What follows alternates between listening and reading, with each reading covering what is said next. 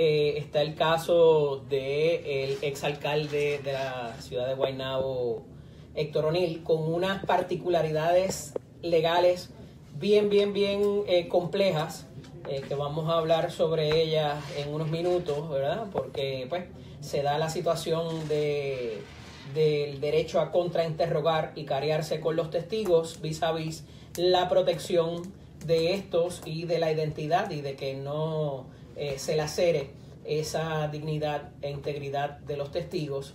Así que hay que hablar en cuanto a eso. Pero una secuela de algo que sucedió el pasado viernes y que estuvimos, lo, tocamos ayer brevemente el tema y tenía que ver con la resolución que emite el Tribunal Supremo, el Pleno del Tribunal Supremo el, el Supremo el pasado viernes, con relación a las prerrogativas y a las facultades que hasta el pasado viernes eh, se les reconocían a la juez presidente y a los jueces presidentes previos eh, la capacidad administrativa para la designación, asignación, traslado y demás eh, determinaciones en cuanto a los jueces tanto del Tribunal Apelativo como del Tribunal de Instancias, la cual se determina de que de ahora en adelante, ¿verdad? Mediante esta resolución va a recaer sobre una determinación del Pleno del Tribunal Supremo eh, y obviamente hay una consideración, o sea, levanta una consideración política eh, en términos de quién nombró los jueces y, y cómo se divide las determinaciones y que, como digo, en el día de hoy tiene una secuela, porque no me parece que sea casualidad, donde se levanta el asunto de que a la juez presidente se le recrimina el no inhibirse sobre un caso que atendió el panel donde eh, se incluye como parte de ese panel, entiendo que no fue la juez ponente, de la juez Méndez Miró, quien a su vez es su señora esposa, y que por tanto se levanta el asunto de que por tener quizás eh, la cercanía de hablar del caso, lo cual lo dudo conociendo a ambas como las conozco, eh, no, no, creo que se dé paso a eso, pero se levanta el asunto de que pudiera haber algún conflicto por haber ambas intercedido en o intervenir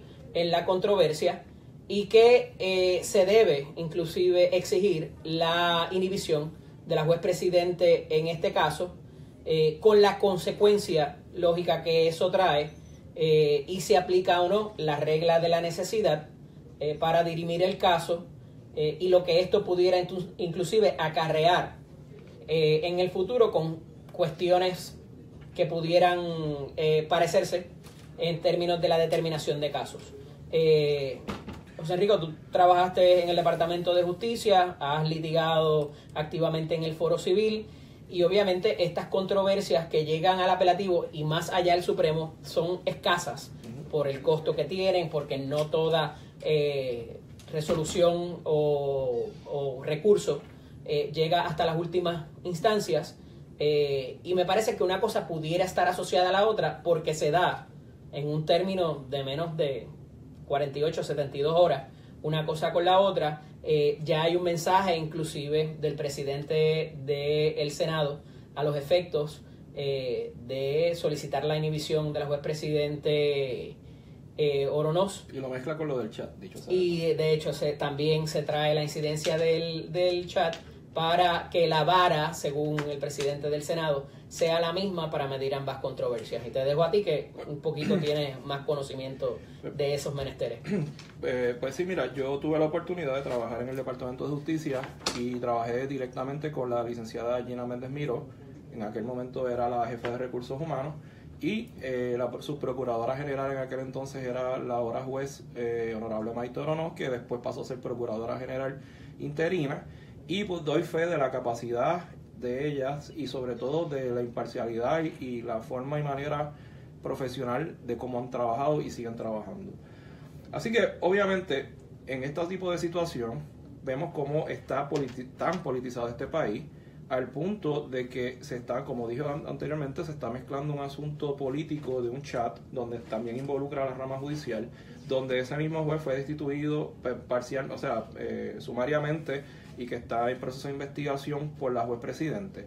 Y vemos ahora cómo esta situación pues se trae para en cierta medida equilibrar las diferencias políticas de ambos bandos en este Tribunal Supremo que está, sabemos, dividido en términos ideológicos con una mayoría del Partido Nuevo, Progresista que fueron los que nombraron estos jueces. Si yo fuera la jueza Bronos, honestamente, aunque no dudo de que no, de que vaya a adjudicar esto en caso en sus méritos correctamente como debe ser, yo me inhibiría porque es una controversia totalmente innecesaria. Más aún cuando se veía venir. Aquí hay que tener maña. Aquí como juez lamentablemente hay que protegerse tanto que hay que tomar medidas cautelares previas eh, durante y después de, la, de cualquier controversia cuando hay una situación tan difícil y tan controversial como lo del llamado eh, chat de Moca, que cada vez sigue saliendo más información porque siguen tapando la información precisamente los actores y actrices de ese chat. Así que lamentablemente eh, yo hubiese preferido que se inhibiera. Yo tampoco veo, o sea, si lo vemos en los méritos, es un panel de tres jueces. Si hubiese sido una sola juez, que fuera la, ahora juez apelativo Gina Méndez Miró, por ejemplo, en un caso en el TPI, que ella fuera la juez del tribunal de primera instancia, que fue la única juez que decidió, y entonces su pareja está en el apelativo con el Supremo, y ese caso llega ante su consideración, pues entonces ahí es distinto. Pero el proceso de los paneles en el tribunal de apelaciones es una mayoría de tres jueces, es decir, o, o son los tres unánimes o es dos y uno. O sea, no hay manera. Entonces, el, entonces, si se parte de la premisa de que la juez eh, Méndez Miró y la juez Maitero no se confabulan diciendo que no es correcto, ¿verdad? Pero presumiendo que esa es la, premisa, pues entonces tienes que incluir a los otros dos jueces también. O sea, que, que, que no tiene lógica alguna de tú eh, o, decir que esta persona tiene, tiene un poder persuasivo tan grande que pudo convencer a los otros dos y, entonces ahora la decisión se va a confirmar por un pleno de nueve, que dicho sea de paso son nueve. Así que en términos numéricos, por eso vemos que son números impares. Aquí la mayoría es la que decide en todos los términos y en este caso en el Tribunal de Apelaciones como en el Tribunal Supremo. Esos son, pero, pero ha sido muy, muy político y, y, muy, muy leniente en términos de, fine, se puede determinar por la mayoría de los jueces, tanto en el apelativo como en el Supremo, para decidir los casos. Pero cuando se trata de cuestiones administrativas, y como decía ayer el licenciado Miguel Hernández Vivoni, no porque haya sido así toda la vida se va a continuar, a menos que esté escrito en algún sitio, que se le delegue el rol administrativo a la juez presidente versus que lo haga el panel de eh, del, el, pleno del Tribunal Supremo. ¿Cómo ves esa, ese, ese, es otro tema, pero si vemos las expresiones del, del presidente del Senado, Tomás Rivera Chats, como se vio como un golpe literalmente a la rama judicial de parte del Senado y Cámara y, y, el Ejecutivo de enmendar eh, esta ley para quitarle los poderes y facultades a la jueza presidenta, pues ahora se está justificando diciendo, pues mira, como ella no se quiere inhibir, qué bueno que fue, qué bueno que fuimos, qué bueno fuimos nosotros, que, que, ahora entonces, no, no es casualidad, pero de nuevo, por eso es que yo le, sugiero con todo respeto a la juez presidente, mire, tenga cautela, vea las cosas venir, ¿ok? Los juegos no se ganan en la primera entrada, se ganan en la, en la, baja del noveno, después del tercer out. Si usted sabe que le quitaron poderes, y, obviamente lo hicieron, en mi opinión, está mal, aunque la metodología que están haciendo de al azar suena muy bien, ¿verdad? Pero ese no es el, eso no es la función del pleno, la función del pleno del Tribunal Supremo es decidir casos y bajar el dichoso ataponamiento que tienen, porque yo tengo casos allí que llevan como dos o tres años y no los resuelven. Esa es la función del Pleno, la función de las cosas eh, presidentes es administrar. Pero ahora se justifica, entre comillas, esa, esa, ese eh, esa eh, intromisión indebida de las ramas políticas en la judicial, porque ella no se quiere, porque la juez presidente no se quiere inhibir en un caso particular que no tiene nada que ver con la controversia. Así que, de nuevo, me parece que esto es una justificación, ¿verdad? De toda esta resolución que dicho sea de paso salió el 14 de febrero y que aparentemente ese día de San Valentín allí no fue no fue muy eh, en el Supremo muy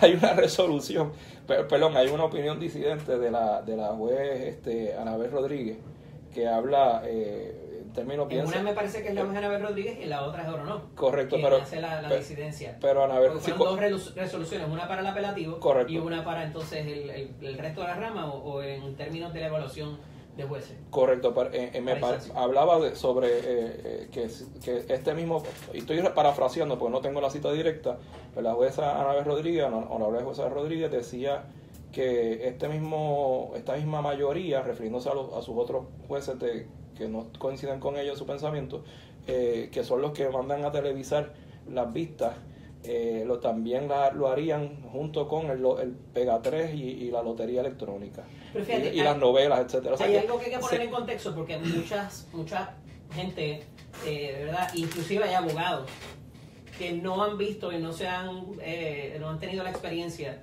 de ver cómo funciona, inclusive los paneles ni en apelativo ni en ni en supremo. Aquellos que hemos sido eh, Yo ahí no- oficiales jurídicos Ahí yo no estuve, de los jueces. eso te lo dejo a ti. eh, acá yo estuve con el juez eh, Vizcarrondo Irizarry en el apelativo, saben cómo funciona, digo, y uno no está presente en esas sesiones que se dan entre los jueces. Pero los paneles, los paneles son colegiados. Y en particular el apelativo, no porque un juez haya intervenido, es, lo- es que se hizo lo que él dijo. Claro. A diferencia de instancias donde hay un solo juez. Exacto. Cuando hay un panel colegiado, todos van, eh, ¿verdad?, repartiendo ideas. Hay unos oficiales jurídicos que también se envuelven en buscar eh, los antecedentes o los precedentes jurídicos más bien. Eh, entonces, no recae todo sobre un solo juez, como pudiera ser de nuevo en instancia. Entonces, cuando se trae el asunto de que la juez Méndez Miró participó en una instancia previa y que eso pudiera influir en la determinación, o sea, ni la decisión de la juez Méndez Miró ni la de Ronald Rodríguez recae exclusivamente en cada una de ellas. Ellas van a aportar ideas y dependiendo quién haya sido el juez o la juez ponente, en el caso, eh, que tampoco es que va a cargar la opinión de ese juez ponente, vamos, Claro. Eh, porque pues, eso, eso depende y, y se da por, por sorteo. Eh, pero entonces me parece que el, el traer esas de que porque ya tú participaste en una decisión es la opinión tuya y que se va a repetir en el otro, me parece que está far-fetched. Eddie, yo tuve hace eh, un año atrás una decisión que fue 2-1 en el apelativo. Claro. Y la gané por porque dos, no sé, dos se Y pusieron de recuerden que lo que es bueno para el ganso es bueno para la gansa. Claro, claro. What is good to the good is good to, is To the good to gander. the good, good to the gander. Eh, así que yo no le veo realmente cuál es la necesidad de esto. Obviamente ellos quieren eh, demostrar su, su, su poderío eh, mayoritario, por llamarlo de alguna forma elegante. Eh, pero de nuevo, lo que le falta ahora es a la legislatura, y con todo respeto también se lo digo, es mandar a cambiar los estacionamientos y poner los preferentes para los que son de la mayoría de ellos y, y poner a la jueza presidenta en un estacionamiento eh, en el Parque Luis Muñoz Rivera. Eso es lo, más- eso es lo próximo que viene. O sea, eh, eh, ya, y lo digo de una forma bien cínica, porque mm, honestamente como abogado me duele. Estamos con un montón de casos ataponados allí. Tenemos serias deficiencias en el sistema judicial a nivel de primera instancia, que es donde se bate el cobre. ¿ok? Que es donde se, se distinguen, ¿verdad? Lo- lo- lo- los niños de, los de, los de los adultos. Sí. Eh, y, y entonces ahí, que es donde está el problema, donde hay jueces que no tienen oficiales jurídicos en el, en el tribunal de primera instancia, los alguaciles, eh, muchos de ellos se ausentan, no están disponibles, la rama judicial está en crisis económica, créanlo o no, gente. O sea, la gente piensa que ellos están en superávit, mire, eso tampoco es cierto. Y de nuevo, estamos ahora concentrándonos en, en quién se reparte mejor el poder, en un chat que lleva ya desde febrero 2 me parece que está con la controversia sobre, eh, sobre esta situación eh, y los tribunales de primera instancia operando a media. Eh, las, las radicaciones todavía no son ni tan siquiera electrónicas y estamos en el siglo XXI, exceptuando San Juan y Bayamón. Así que mi exhortación, mire, políticos que están envueltos en esto, dejen la inmadurez esta, dejen de ser adolescentes, pónganse para su número y dejen a la rama eh, funcionar. Yo creo que esa es mi sugerencia. Fíjate, y te tengo que poner en, en- en contexto la situación porque hasta recientemente, te tengo que decir, en este rol, por lo menos que yo he tenido desde hace un tiempo para acá, más allá del legislativo, que mucha gente lo conoce, eh, yo no estoy en tribunales activos ni nada, pero obviamente te llega mucha información, inclusive dentro de la rama eh, judicial, te tengo que decir que quizás el manejo de la situación de la tormenta y demás no fue tan bueno para el juez presidente para hablar en justicia. Pero esta determinación que se toma el pasado viernes dentro de la rama judicial no ha calado muy bien. tampoco. Este, y digo, y no estoy diciendo, ¿verdad? Ni violentando ninguna confidencia ni nada. Eh, y más allá de eso, me parece que este, esta imagen o esta proyección de que los jueces nombrados por Fortuño o por administraciones PNP y que los jueces nombrados por Alejandro García Padilla, administraciones populares, se estaban dividiendo todas las controversias, había dejado de... Eh, no, eso no es cierto de, de, ordinario tienes al juez Estrella, que a veces está acá, a veces el juez Coltoff, el juez Garo Rivera, la juez Pablo Charneco también, a quien respeto y distingo. O sea, no necesariamente las determinaciones del tribunal se dan eh, de manera política. Bueno, eso, eh, eh, Eso, se da también, Eddie, por la, por la madurez de... Porque si comparamos cuando fueron nombrados en el 2009 que fue un grupo y después el resto fue en el 2010 o 2011, si no me equivoco, que se conforman entonces los nueve en, total. Eh, eh, no sé si recuerdas la controversia aquel de, aquella del pesebre y, la, y las cosas religiosas, ¿verdad? Pues, pues de ahí tú veías que eh, ahí fue que empezaron las controversias entre ellos. Pero si tú notas las determinaciones, como tú muy bien señalas, tenemos determinaciones, tenemos un waving vote, que no necesariamente waving, ¿verdad? Porque son mayor, la mayoría es demasiado grande, que es el juez estrella y esa, eso te lo reconozco. Tenemos al juez Ángel Colón, que algunas veces también se vuelve un poco más para el lado conservador y va también el lado liberal. Y el juez eh, Colón es muy, eh, muy académico. muy académico. Y se ciñe a la. Correcto. Así que esa, esa madurez intelectual que está resurgiendo en el, por, por razones obvias, porque mire, están conviviendo todos allí, se tienen que ver todos los días. Eh, y más aún cuando hay sesión, etcétera, y tienen que consultarse las determinaciones. Eh, pero eso está bien, pero tú meter o permitir que venga una rama política a decirle a ellos cómo tienen que, por lo menos si yo fuera juez del Supremo, aunque estuviera en mayoría y coincidiera con el senador o, con el presidente del Senado en, en, esos aspectos, yo le diría, oiga, el poder, la famosa frase que siempre utilizan, el poder inherente de la rama eh, judicial. ¿Sabes que Eso me extrañó mucho cuando ellos en la, en la resolución eh, traen el asunto de que la, la legislatura recientemente les había eh, consolidado o les había reafirmado su poder para reglamentar, porque es que eso nunca ha estado en controversia. para reglamentar asuntos de la rama y asuntos de la profesión, eso siempre ha estado reconocido. ¿Y porque si, si, si tuvieran los pantalones bien puestos, con todo el respeto que se merecen los jueces de la mayoría del Supremo, y, y, se hubiesen puesto de acuerdo, ¿por qué, no, por qué no, no, hicieron una sesión extraordinaria y se reunieron los, los nueve jueces y en mayoría hacían lo mismo que mandó a hacerle el presidente del Senado a través de una legislación? Porque el poder inherente es de ellos. O sea, el poder inherente es de ellos cuando, cuando, cuando les conviene entonces ahora no les conviene para quedar bien porque decir que fue el presidente del Senado. Y no, no es lo mismo de lo que pasó el juez consultando un chat que el querer inhibirse o no, el tomar la determinación de inhibirse. Son dos cosas completamente distintas y no hay manera de equipararlas. Tengo que ir a la pausa. Cuando regresemos, tenemos que hablar de el gobernador que dice no way, no hay chavos para los bonistas y además de eso, la determinación que transcurre ayer en el tribunal sobre eh, la ex senadora Maritere González, algo que ha pasado muy desapercibido en el caso particular que se encontró no causa, hubo 12 de 13 que sí determinaron causa para juicio, pero ese cargo que se, que se cayó es sumamente importante y no ha sido explicado. Más allá de eso, queremos reafirmar, Noti1 fue el único medio radial presente en la vista de el ex alcalde Héctor O'Neill, así que como siempre reconocimiento para la compañera Nicole Colón Santiago que estuvo presente en Como siempre sentando la pauta. Noti uno. Vamos, a la vamos a la pausa, regresamos en breve, no se vaya nadie. Esto es de frente.